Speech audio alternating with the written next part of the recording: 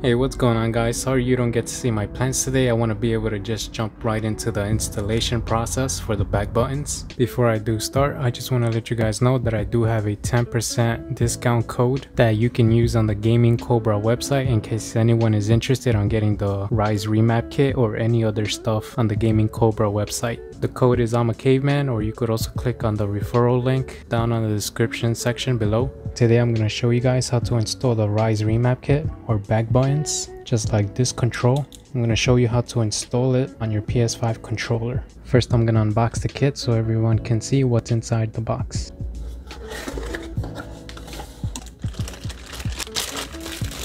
First thing you're going to see is a black soft touch back shell. This is all the back buttons pieces, the casing, the board, the buttons, paddles, and you're to see it all come together at the end. You got some tools and screws.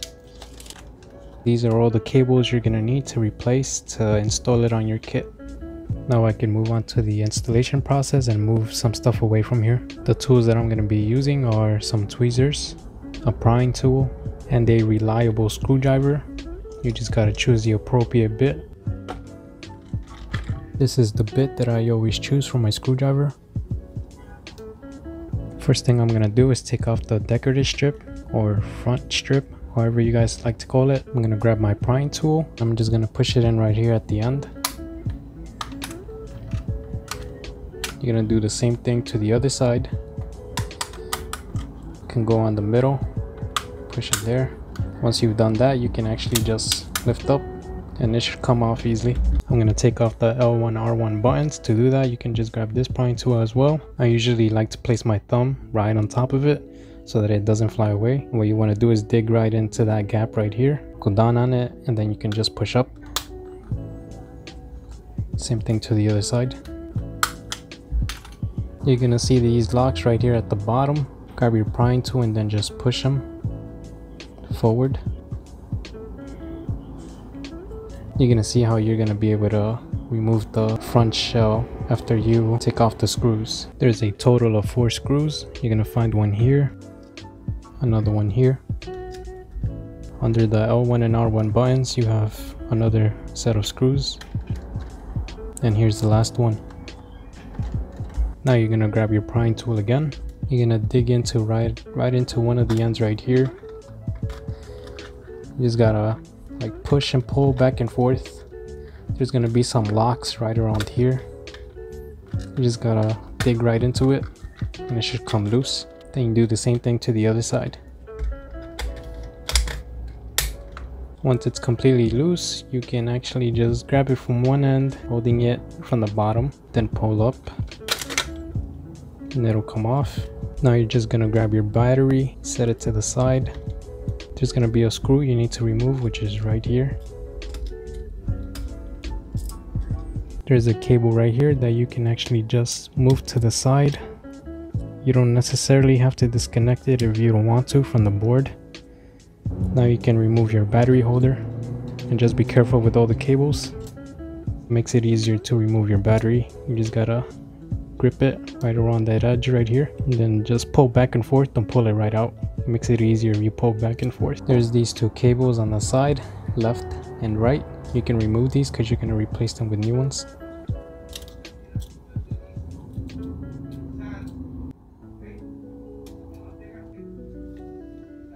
You have two more cables you need to disconnect. Top one right here with the blue. Make sure to straighten it out. And then this tiny one right here. There's two tiny locks on the left and right side. You can easily see one right here. All you gotta do is push outward and then with the finger make sure you're kind of like pushing up so it doesn't lock into it again. Then the other one's right here. It's kind of dark to see but you just push that one as well. Then the board is gonna lift up. Now that your board is free you're gonna grab this cable that has the tape on one side and then the connections on the other side and you actually need it to be facing up this way. This part right here it has two holes.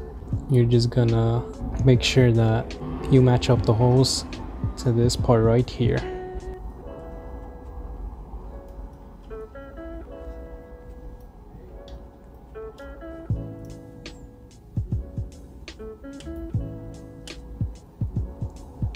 You can push in one side through, then work your way to the next side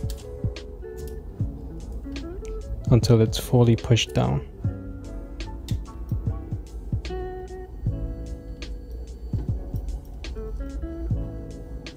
And then I just like to make sure it's fully secured by pushing down throughout the whole area.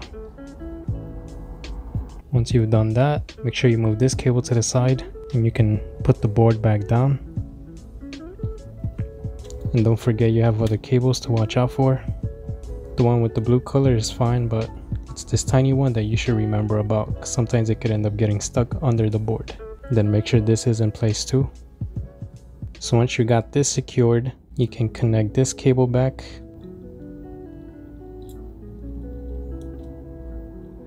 You can reconnect the blue one as well.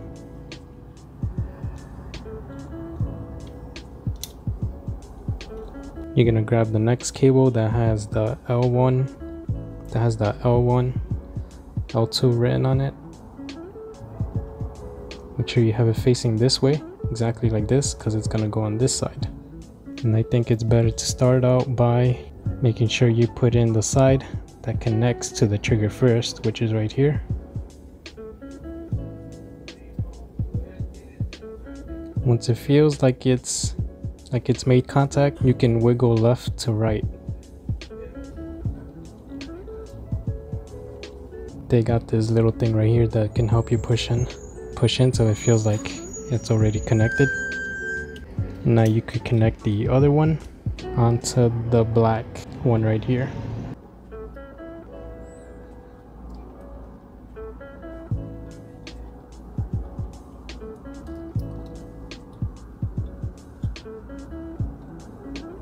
Now you can grab the next cable that's labeled as the R1, R2.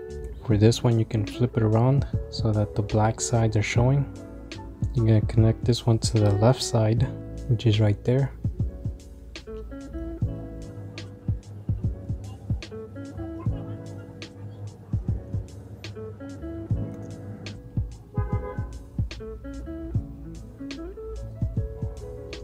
This side also has a the black connection right there. You're gonna connect this one. And just remember guys, you can wiggle left to right to help you out.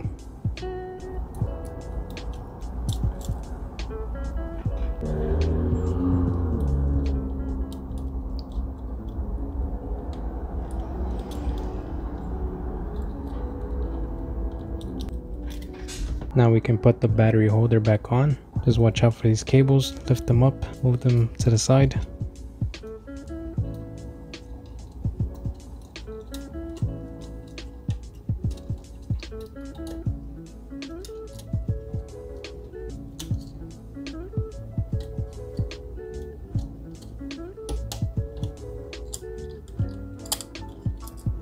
You can put back the screw for the battery holder. And let's not forget about this little cable right here. You just gotta place it back on the battery holder.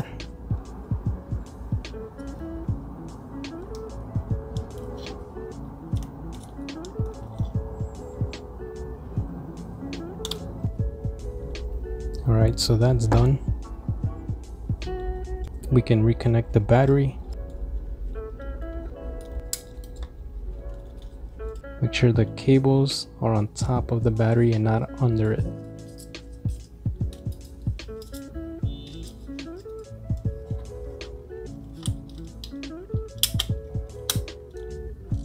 To manage the battery cables a bit, there's the black thing that sticks out. You can actually just tug them in there to hold it better.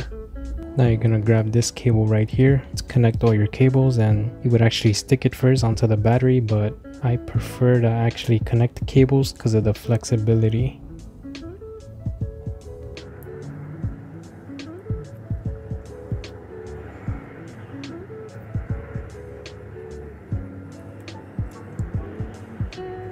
And I probably forgot to mention to just make sure you lift up this little black part because that's actually the security for when you connect it already. All you gotta do is actually push it back down and it'll secure the cable in.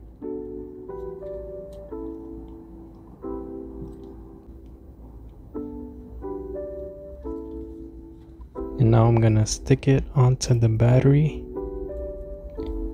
I'm not gonna lift up too much since it's already connected, but this is the way that I preferred to do it. So you guys can always just end up sticking it first and then connect the cables. Then you just gotta have it right at the edge of the battery. And just in case some of you were wondering, this connection right here is for the L3R3. I'm not gonna have that because you actually have to solder some of the other cables, which would be this one. Here's another cable. And those two are basically just for you to solder on and then you can program it to your touchpad, L3 or R3. I'm gonna assemble the back shell. First piece you're gonna need is this one and this is exactly how it's to be facing you're just to place it right on top of the back shell like that you'll feel how it falls into place it's aligning with the other circles or holes. There's two type of screws provided. There's a bulkier one and then a thinner one. When you're assembling that back piece you're actually going to use this one the bulkier black piece. Make sure you have four of the bigger screws and then just put them all into the four holes right here.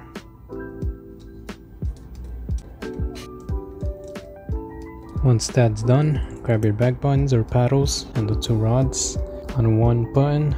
You got a hole right there. You're just gonna put the rod right through it. And the other one.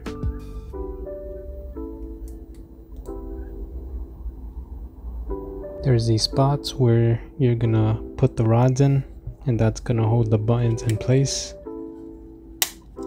You'll hear a click and you can even see if it's not put correctly just move it around and push down and you can see this is K1 and now you put K2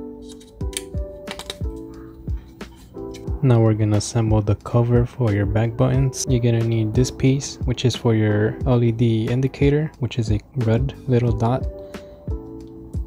You just gotta place it right through. It has holes in it which is to be placed right here. And you can see it's secured so that's good and the next piece is a button so that you could turn on or off your back buttons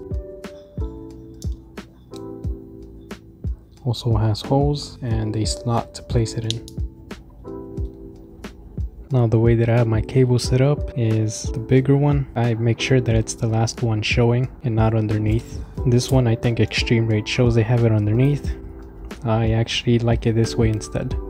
Now that you got your back piece assembled, you can actually just slip that wire through through the hole that's there.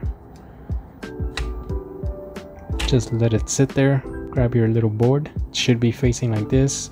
Also unlock that little piece. You can connect your wire.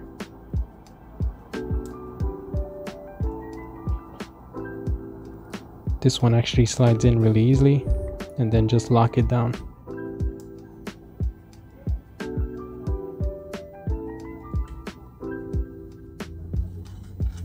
The way you're gonna place your board down, there's a slot right here. So you're actually just gonna slide that right in into it like this. And then you have these holes right here, this one and this one. Once you slide it in here, you can align those holes together and you'll feel how it's in place but now you have two screws that you need to put in and this is where you're gonna use the thinner screws not the bulkier ones. So you got one right here and then another one right here. When you're done with that you can grab your back buttons cover. Gonna start by just placing it at the bottom. You're gonna see those two slots. Just match it up. And go to the top and just push down. Press on your buttons. Make sure they're clicking then you can also just hold the button down and it should turn on if everything's connected correctly. So there you go. I'll have it on for now.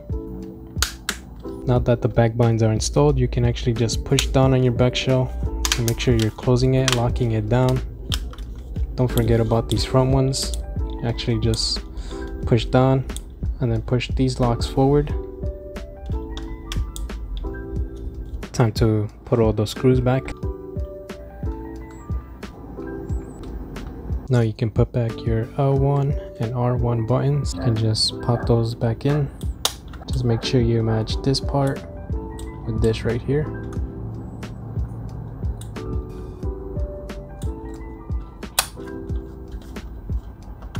Put your strip back on.